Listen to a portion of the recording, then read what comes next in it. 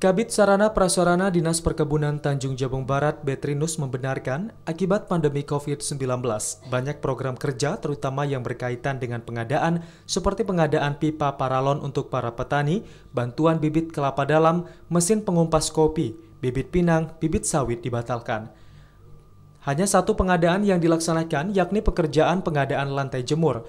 Volumenya pun jauh berkurang, dari 500 kodi hanya dipenuhi 97 kodi.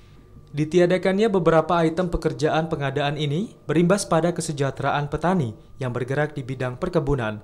Betrinus berharap para petani untuk bersabar, dipastikan pada tahun depan semua pengadaan akan dipenuhi.